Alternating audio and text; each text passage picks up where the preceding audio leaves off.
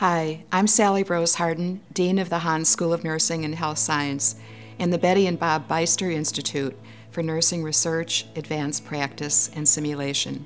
The Beyster Institute, the first of its kind in the nation, will be a center for nursing research and preparing advanced professional nurses, those studying to be scientists, educators, executives, specialists, nurse practitioners, and military officers the leaders of nursing. Our donors, faculty, staff, and students all have contributed funds for this building. You also are making a contribution, perhaps the most important one, for you are creating what we only could envision. Your efforts will affect the lives of thousands of nurses and millions of patients. Everyone needs a nurse at some point in their lives. May your nurse be highly educated, skilled, and kind. Perhaps a USD nurse. Be safe, and thank you for your hard work in building our dream. The Institute is a center for advanced research, building upon the already successful uh, School of Nursing and Health Science. Uh, the building addition will actually more than double the size of the school itself physically and create a new professional center for collaboration research and professional outreach. The solution of the project really embraces two very important mutual uh, ideas into a singular solution. First is to respect the integrity of the nursing profession and more specifically USD's School of Nursing's contribution as a nursing program.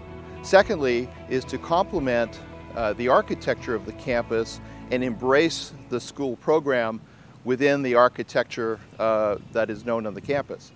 Uh, starting with the campus itself, expressing the 16th century Spanish Renaissance, the campus is, uh, has a very distinctive style. So we are borrowing common themes from buildings that are in the area, such as Founders Hall, uh, Hughes Administration Building, and, and taking some of those details and the magic of those buildings and bringing it into the new facility. So to create a stimulating environment for teaming and engagement, within the building will be places to learn, labs, group learning rooms, research suite, and classrooms. And working with that will be vital exterior spaces, courtyards, the entrance parlor, research library, and study balconies, which takes education from the classroom into the outdoor space for people to work together. The facility is truly a shared success of design education and a contribution both to the campus and to the School of Nursing. My name is Brad Kraus. I, with DPR Construction, the project manager for the USD School Nursing project. Uh, I just want to give you a little history on the project. We were awarded the project August of last year. Um, we have been going through a pre-construction process for, the, for about six to seven months. And part of the, the process um, goals and challenges have been is we have a set budget that is capped by donations. This is not a state-funded project where you have a bucket of money, money allocated for a project. This is a, a, uh, a budget set aside by individuals within the community that have donated money for this project. So we have designed the whole building around these donations to make sure that we fit within that, within that budget. So it's taken a while to get there, but um, we are very pleased to be moving forward with the job. Um, so during this procurement stage and development stage, we have gone through a very um, lengthy procurement process to get your subcontractor on board. We reviewed your quality program, your safety track record, and, and really your execution to do the project um, safely, on time, and under budget. So we feel like you, got, you're, you are the right individual for the project and you're going to support us in being successful to, to finish the job on time. The project broke ground in late May of 2014. It's scheduled to be completed late July of 2015. Students are signing up and getting ready for classes and in the fall of 2015 this building will be occupied and students will be there using it. So it's, it's a very tight schedule and with your help, we know we, we can get it done. This building will provide advanced nurse training that, quite possibly, will impact you or someone you love. I look forward to working with you and having a successful project. Hi, my name's Matt Horak with DPR Construction. I'll be your primary point of contact for RFIs, submittals, current drawings, anything you need.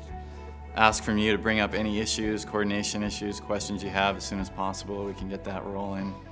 Uh, we're really trying to push the innovative approach at DPR to construction as far as digital drawings, reviewing the model in the field. So please let me know how we can help with that. From you, we really need to hear the innovative ideas you have in the field. That's really where the key is to making construction more productive, more efficient. So ideas you have as far as making us more efficient as a team, please bring that up. On a personal note, my daughter Faith was in the hospital for three months, and Dean Hardin said at some point or another you're going to need a nurse. And that was very true for me. Uh, nursing was a big part of our family story. At some point or another, either you or someone you love is going to need a nurse. That's what this building's all about, nursing education and research. And so we're excited you're here to help us be a part of building this project. Hello, my name is Jake Eddy. I'm the safety coordinator here for the USD School of Nursing project. Oftentimes in construction, we forget about what our motivators are, what got us out, out of bed in the morning. We're all here to provide for our families. We're all here to make a living. We're all here to make money to enjoy our lives outside of work. We want you to think about these motivators as you're doing your work out in the field today. Think about when you hit a gray area and trying to make a decision, what would your family like for you to do in those situations? Here at DPR, we're striving to reach our IFE, our injury-free environment. This makes safety a value in how we do things. Your priorities will change day to day, minute to minute. Um, and as you're doing your work out in the field, we want you to keep safety in mind. Don't let it change. Keep it a value of who you are and how you do your work. As a safety coordinator here at DPR, I can't always be on site every day. Safety is everyone's responsibility. You have a role and need to step up to that role and play a more active part in the safety program here on this job site when I'm not around. I look forward to working with you on this project and on projects in the future. Have a safe day. Hi, my name is Brian Munson. I'm the project superintendent. Uh, I'm just going to cover a few of the challenges and uh, logistically uh, what we're dealing with here. As you can probably see in the background, uh, it's going to be a very small site for what we're trying to accomplish here. The building takes up pretty much the whole site that you're seeing. So uh, the challenges are deliveries, making sure that we keep to the south side of the site and the trucks roll through one way from uh, west to east. Uh, the parking, I want to thank you in advance for parking down on the west parking lot and taking the tram up uh, because there, there is no parking. I'm parking down there myself, so I'm keeping it fair. And then uh, public safety is critical here. We are working uh, right in the middle of the campus where there's college kids, 18, 19 year olds, in addition to the faculty and a lot of the maintenance and facility staff. Uh, we want to be respectful and look out for their safety as much as we're looking out for our own. USD is a no tobacco campus. That means no smoking is allowed, nor any uh, smokeless tobacco. So um, that will not be allowed. And I just want to say welcome and look forward to having you working on the USD uh, School of Nursing project.